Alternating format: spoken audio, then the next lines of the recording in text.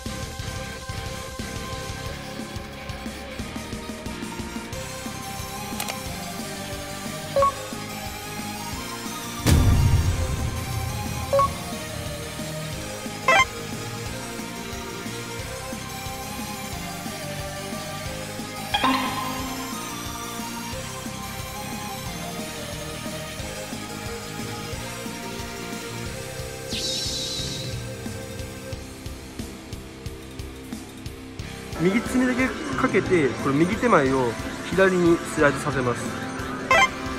肘までかかると肘の動きでキュッてこう一気に。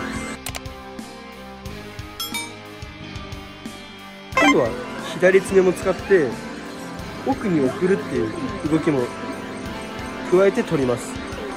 左爪に注目ですね。左がこうやって景品を奥に送ります。